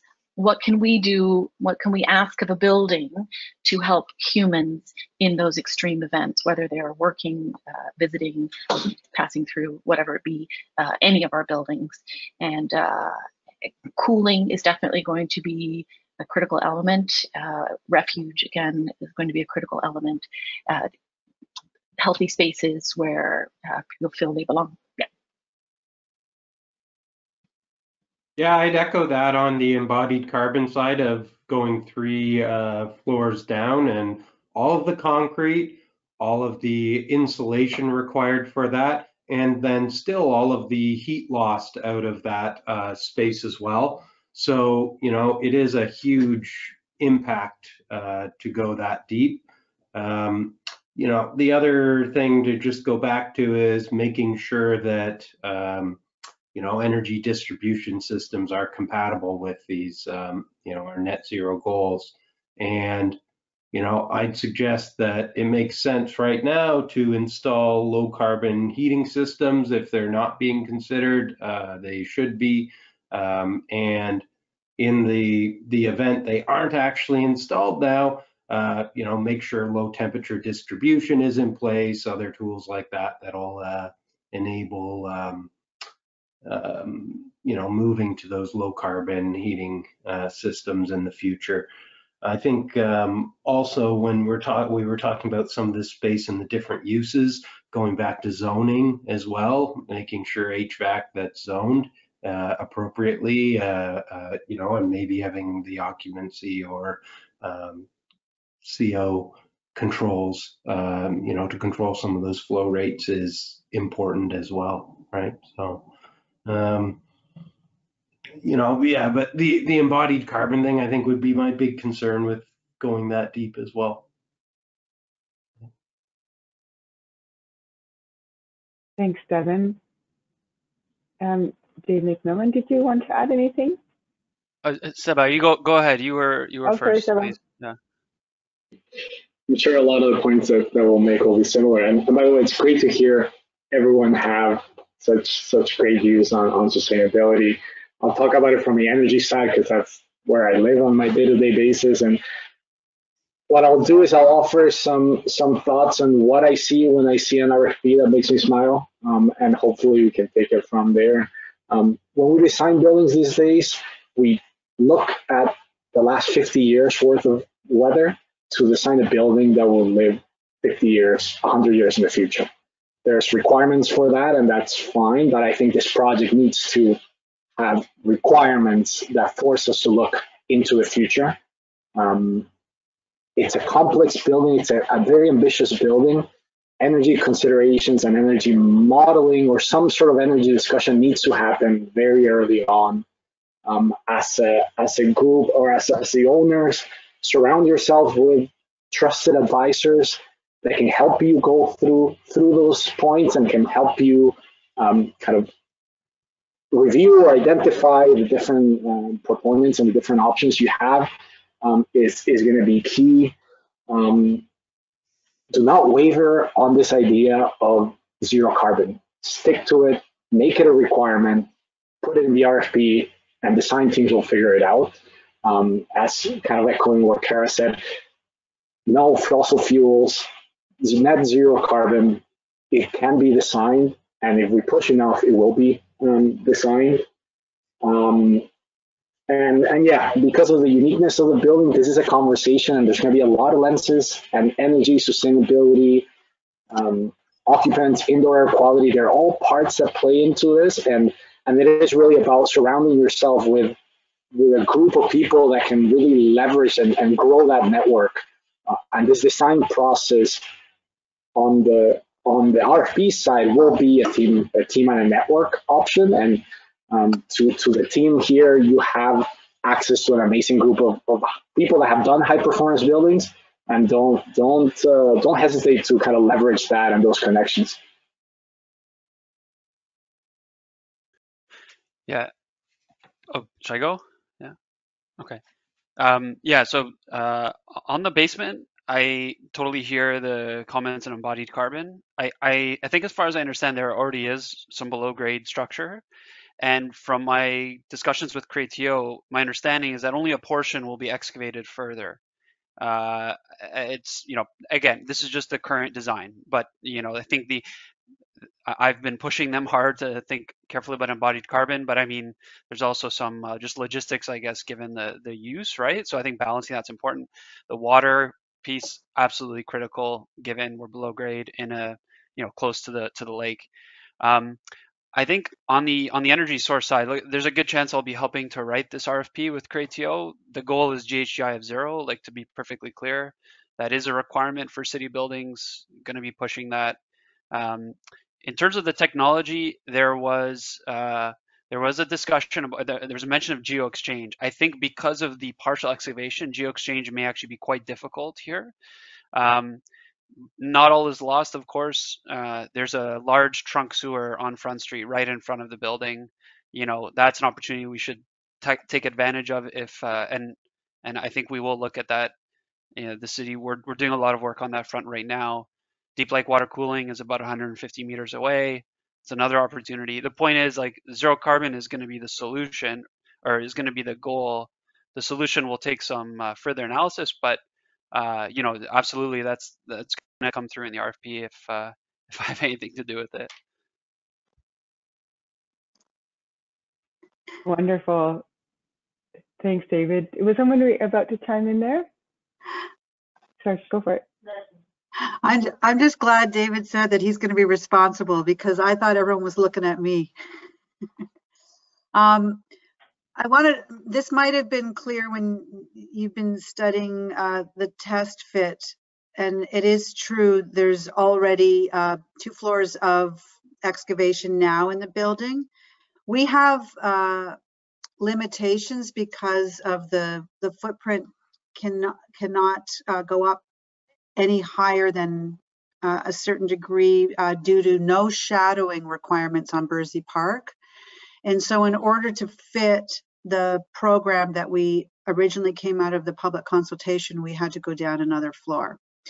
It was not anyone's idea of a good time, specifically because of the natural light, never mind all the sustainability issues, but the light is a, a huge factor in that, which was interesting.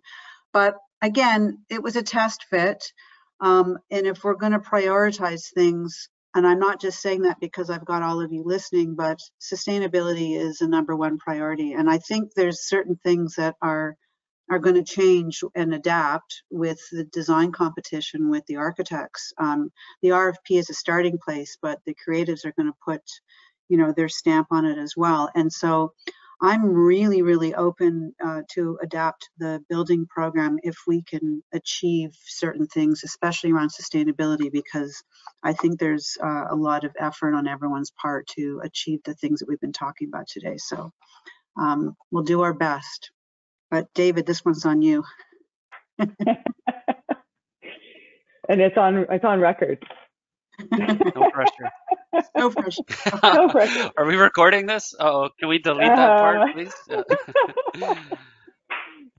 Uh, so I'm going to skip. I think we talked a lot about future proofing here. So I, because we have one more question that I would like to explore. Actually, let me ask Leslie. You, we have a choice here to go into future proofing further, which we have touched on in, when we talked about sustainability, or looking at what can we offer to the STLC Next design team and, and this process to help them to provide the, you know, really the marketing, the, the, the, the narrative for the benefits, the value that this will bring to the immediate community, to Toronto at large, and to the betterment of the environment, or any of the any of the talking points that we feel could help them as they navigate the um, it continued stakeholder consultation process. Let me, before I, I pose either of these questions, let me just turn to Leslie and ask, do you have a preference? Uh, I definitely don't don't have a preference. I think um, I love hearing the conversation to continue what people are most passionate about. I mean, I think I've got a pretty clear indication. Um, and in terms of this process, and David, I'm not sure how much uh, you're aware of the timeline at this point, but the RFP is in two phases. So there's an RFQ that's going out first, um, which should be public by the end of September. And then a short list is going to be created sometime probably in October. And then there's going to be at least two months where, at least two months, maybe a little bit more, um, which takes us to the end of the year where the a short list of a handful of architectural teams will be um, going into competition. So the public engagement, as Leslie just mentioned, is going to continue throughout this process and there will be touchdowns. And um, I know there's going to be lots of conversations, particularly with all of the agencies that we're working with now at the city, which include um, David, but also with heritage, transportation, urban planning, et cetera, et cetera. So there's there's a lot going on in a pretty short period of time. So the more concise our recommendations are to the competitive teams, I think the better. Um, and then there will be, uh, you know, an awarded contract, and then there's going to be more work. Like I see this as such an iterative project in terms of where we're going to get to next because we have to go back to city council uh, sometime in the spring of uh, the second quarter of 2023 with uh, the the awarded design with a new budget and with all of the things that we're talking about and that's going to keep going through the process. So all of these things i think when people if you're following the project you'll see there's going to be many touch points um, to to weigh in and hopefully keep us all on track.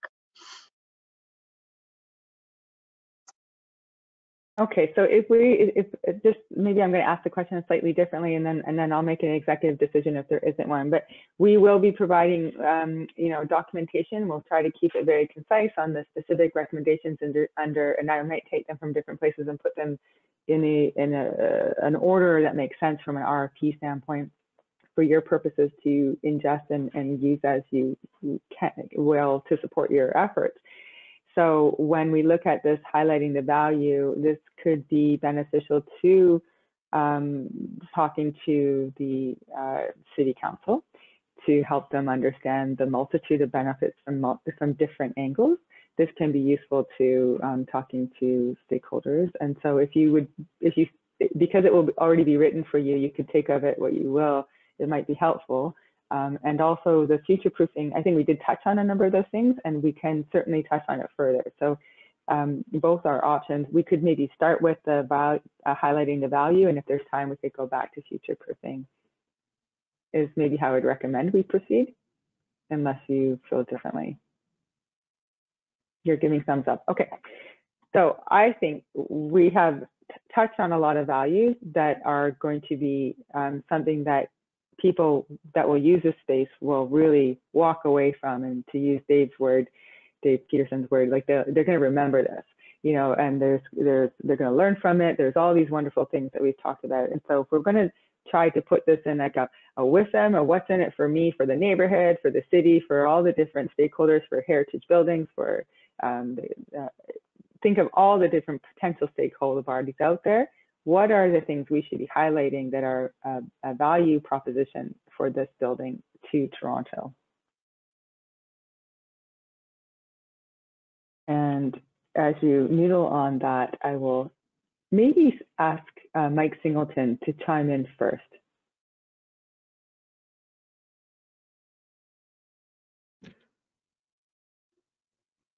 Um,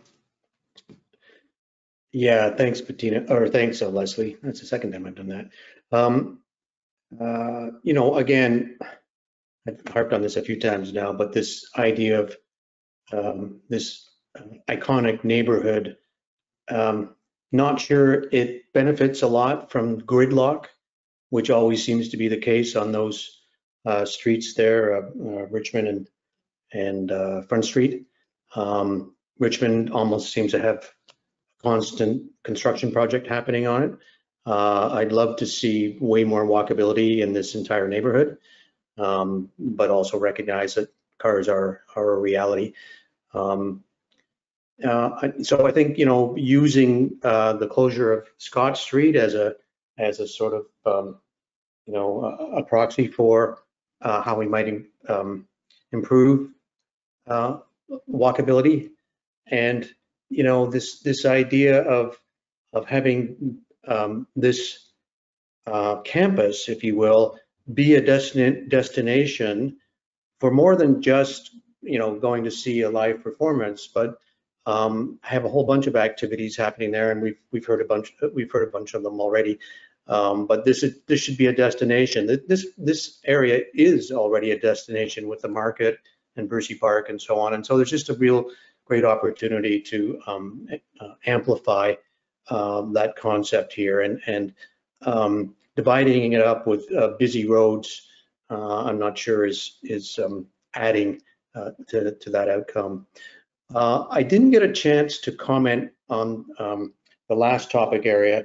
And all I would say about that is we heard from Bill Lett, I believe on Monday about um, the the strength of the integrated uh, project delivery. And I really want to uh, encourage uh, the Toronto team and Leslie to, uh, if you can, to embrace that concept because, uh, you know, we are, you are going to set pretty aggressive goals and, and we've heard about those with the zero carbon and so on. Everybody has to, everyone involved uh, in the project and the, you know, design and ultimately the construction needs to embrace that outcome as well. And uh, if you bring those people in at the beginning, and these includes the constructors and the trades and everybody that's associated with, with ultimately with building this building, get them to buy into that outcome, then you'll eliminate that that value engineering risk that we always hear about with with um, buildings of this nature. So I really encourage you to use that. It's highly effective um, and uh, will um, you know kind of guarantee uh, that you might get the outcomes that you're looking for in terms of a truly uh, high performance building. And I'm just looking at the Sebastian's, the lawn bowling concept. Uh, as it happens, my grandfather was a designer of bowling greens and well known in Ontario. He's long since passed away, but I think I can find his notes. So uh, um, that would be so cool. They had lawn bowling down there, or bocce ball, or boule, as they call it in France. Anyway, I'm digressing. I'll turn it back to you, Leslie. Thanks so much, Mike, and thank you for um, sharing your thoughts on the sustainability piece too. Leslie, do you want to go ahead? Sorry. Um, I, I'm, I'm obsessed with the storytelling for a reason.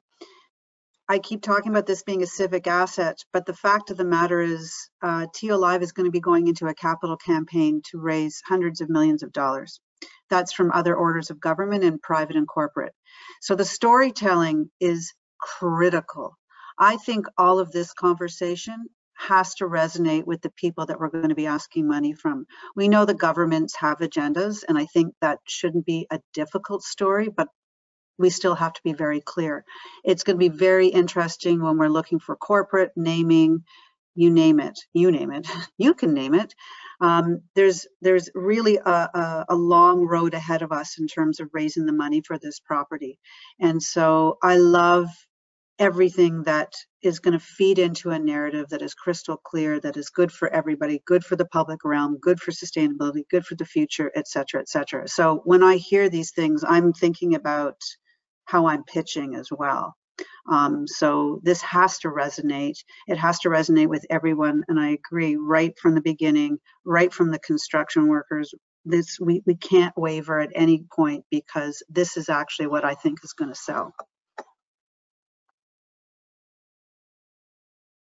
Fantastic. Thank you for sharing that, Leslie. Uh, and I know that I think the whole team agrees wholeheartedly that integrated design is, is the way to go.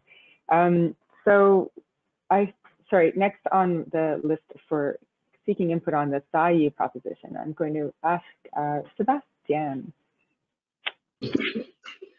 Um, I really like storytelling as a way of communicating things. I think when you find people's values and you can can articulate it in a way that, that resonates, I think that's that's the best way to get mobilization and get people to buy in. So for me, as someone who's close to this neighborhood, this excitement around the potential of this hub as a cornerstone to a, a growing neighborhood that ties into the St. Lawrence market that allows the neighborhood to continue to articulate its, its multiculturalism um, and, and really provide some, some um, support to the arts as they've gone through um, a really challenging time. So the story around the future, the story around the flexibility, the ability to incorporate neighborhood, multiculturalism, um, multi or transgenerational um,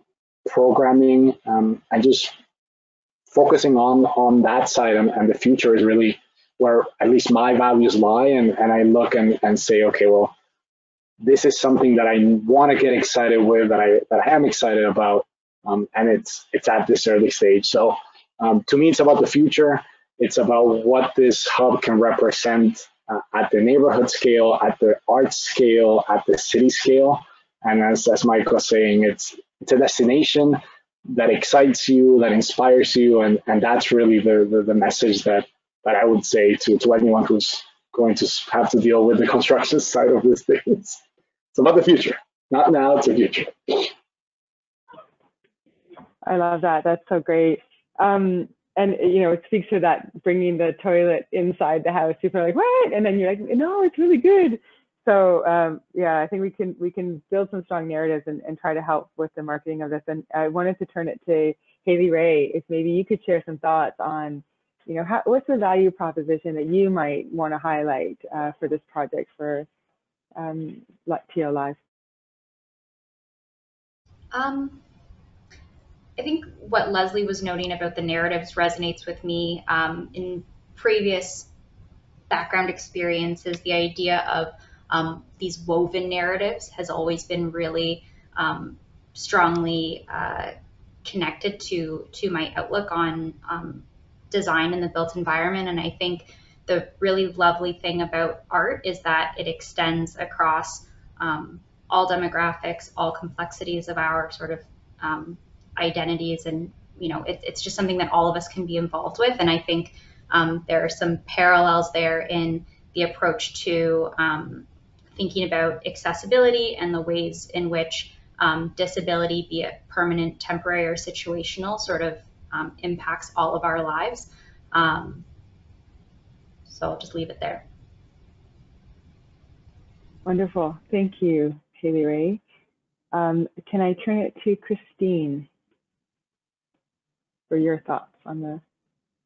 Um, I think that as you try to engage with the community um, in order to bring them into your vision, I think that you're going to have to take um, um, present it to them in a way, as we do it all, we do a bunch of community consultation things, present it to them in a way that, that explains to them really what are their benefits. What and you, the, the, statement here is truly the, the correct. Like, what can we say to the community to bring them and make them feel more engaged, and that that they're with all the disruption and all this is going to cause to them, you know, that they understand that this is what's the end, this is the vision, this is what's going to happen at the end. So it's about telling them about the story that you that that's going to happen. That that you are going to have a rejuvenated streetscape. You're going to have these connections to Berczy, that the whole area will be re-envisioned, and and the connection to Front Street, the connection to Scott Street, the that whole um, public realm will be a new, revitalized space a space that they then can can participate in. Um, and it, it, you're going to have to explain to them about the, the economics, and I translate that into saying these new opportunities for commercial ventures have to be presented in a way and have to be built in a way that offers them the most opportunity for success. Nothing is worse than creating all these spaces that that are just doomed for failure or just are, are vacant. We have seen other buildings in which um, the intention was that they're going to have involvement from community colleges in this, with respect of um, art displays or a commercial kitchen or a teaching kitchen or a restaurant, all of this. And, and many of them have failed and it failed on opportunity and it failed in actually delivery. So if you're going to promise that type of thing to the community, then it really has to be foolproof that it's actually deliverable. Um, there's no point promising it's going to be a commercial kitchen that's open to everybody that of all ethnicity and all um, you know economic backgrounds if that's never going to happen. And and then all that really does is just entrench this uh, this attitude of mistrust with what's happening with the with the government levels, all government levels and government buildings. So I think that as you put forward this and and open up this dialogue with the community, there's going to have to be a lot of honesty on your part and really thinking about what you can deliver and what are the benefits you truly can give to the community rather than a whole shopping list of things that as we talk about today, and there've been a lot of blue sky stuff about it, but a, re, a realistic approach of how you can, how, what you can offer to the community and tell them this is what we're, we're considering.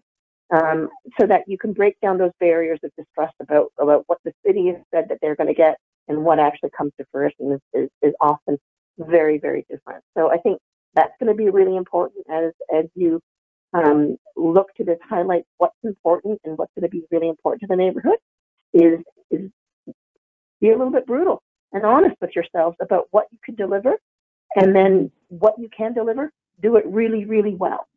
So mm-hmm. um, that what they get and that the, what they being the community get is something that really is special, really is spectacular. But rather than a big shopping list of things, a, a real honest, you know, approach of what you deliver, believe you can deliver and deliver well to the community, I think is going to be important. Mm-hmm. Yeah, that's a good point. So authentic trust building and, and sort of only sharing out what you really truly are going to be moving forward with. Yeah. Thanks, Christine. Um, I'm going to turn it to Nicole for her thoughts on. I think we, we can also consider yeah. the various stakeholder groups. There's the neighborhood, there's the city council, there's lots of different stakeholder groups that we have to consider the messaging for. So it's not necessarily promising the sky, it's promising, you know, what we think is going to benefit them or how it's going to. Yeah, and actually that kind of uh, the different stakeholder groups and what I was going to say is kind of the keeping in mind the subset of those stakeholder groups and and the wide variation of um, people in terms of you know where in their life experience they are or um, how they their life is is structured. Um, I'm a suburbanite. I live outside of Toronto. Um, the town that I live in, everything is about you know people with kids I'm single, I don't have children, I have a dog. Um, you know, I love my town. I love the fact that they do stuff for kids. I love the, you know, the kids are going to be the ones that are running the world when we're all old and need people to help take care of us. But um, I think it's important to to keep in mind all of the different um, people. So so families with kids, elderly people, single people, you know, people whose kids are old enough now that maybe they're trying to escape for a date night um, and, and, looking at how and what the facility will provide for all of those people um, and all of the the different you know they're all looking for different things out of community hub and and focusing on how the facility once it's complete um, may you know speak to or enrich their lives um, and i think that the same is true like if you're talking like leslie was saying to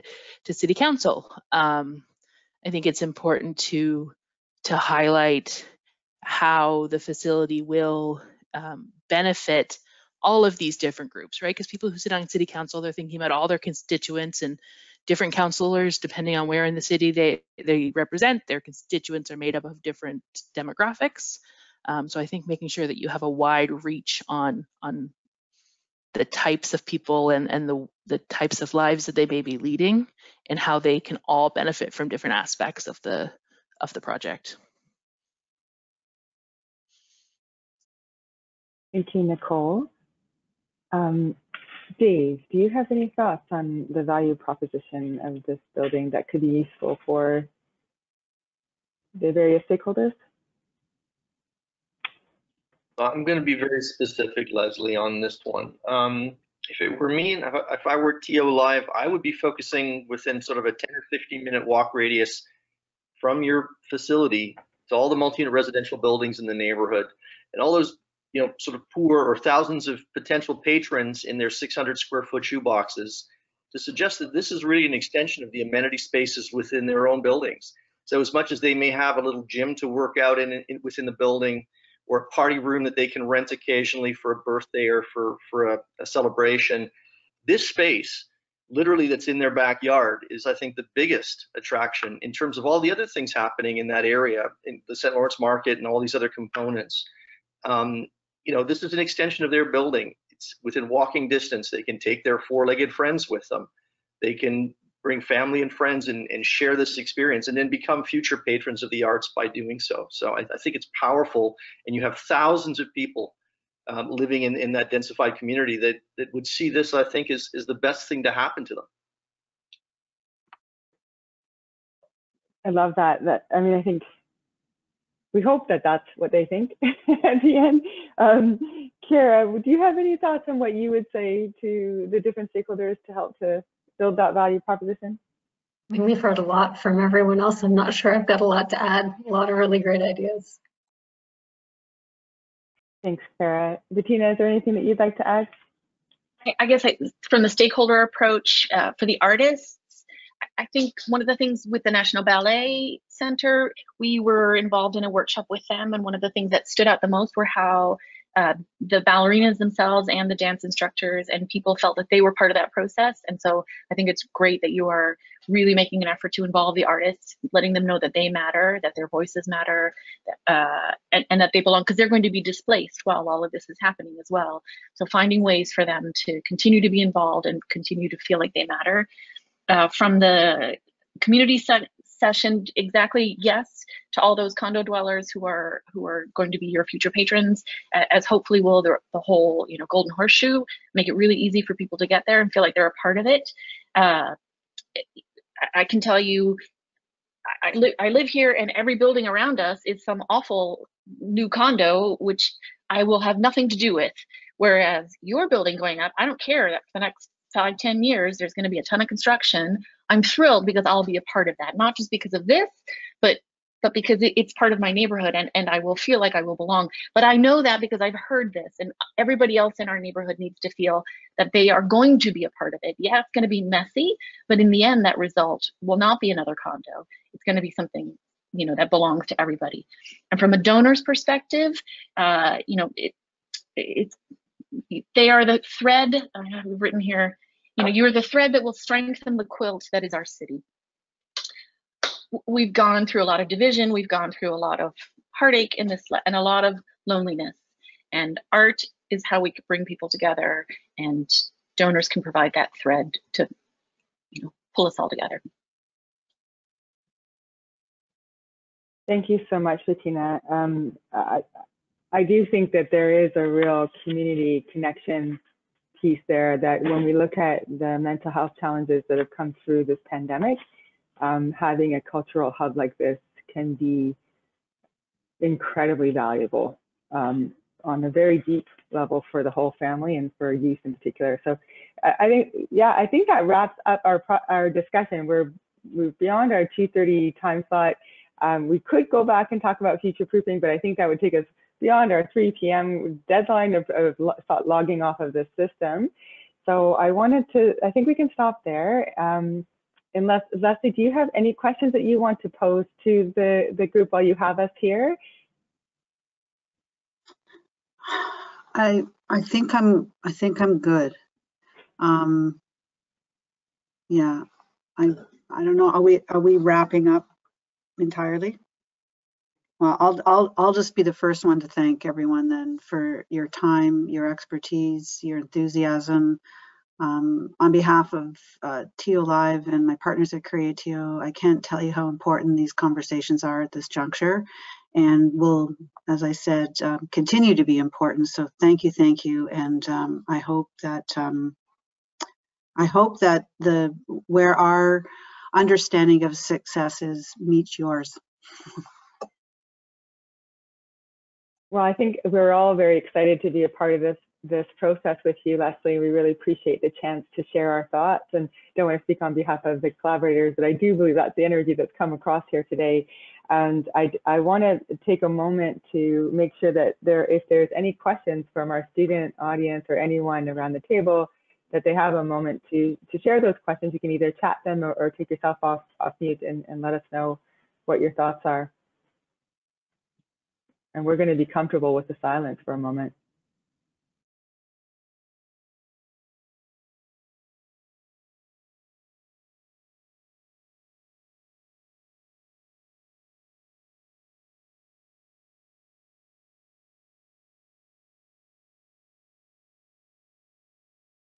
do do do do do do. I'm just doing the Jeopardy song, so um, you can see Bettina swaying to it because I think that means that we have there no questions coming to us at this time, which means it's been a very fulsome discussion. Is what I like to take away from it.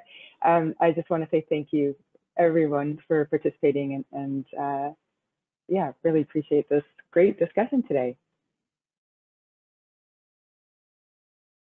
Sure, I'll log everybody off. I'll just remind students, uh, we've got two sessions tomorrow. Well, we've uh, one mini session and two learning sessions, and then the rest is up to you, your team presentations. You've now seen how we do it. So you can see we have no idea.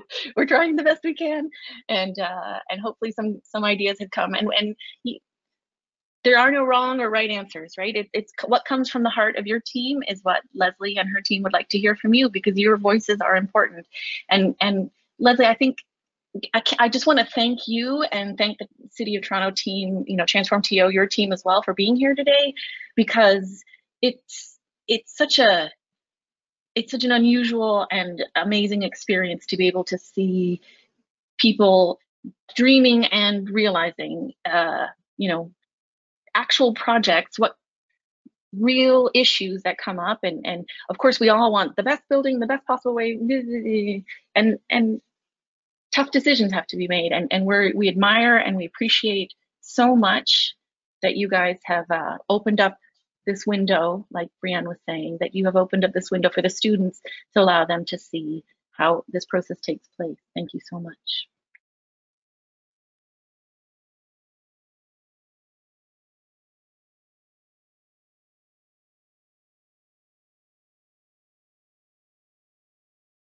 Thank you, everyone. Take care. Thanks, Thanks everybody. All right. Bye, everybody. Thank you very much. Take care, everyone. Thanks. Bye-bye. Thanks, everybody.